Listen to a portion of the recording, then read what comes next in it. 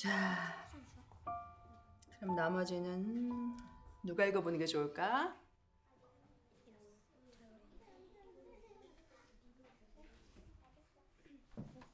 정만이가 읽어볼까?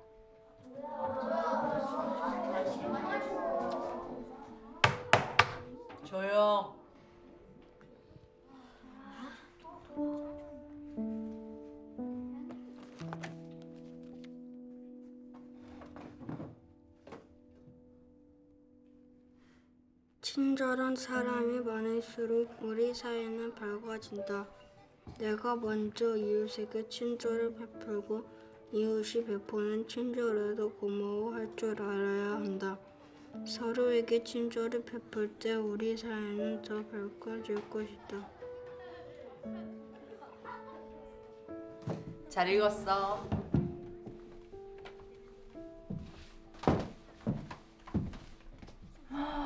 벌써 스티커를 거의 다 모았네. 다들 열심히 해서 스티커 모으도록 해. 알았지? 네.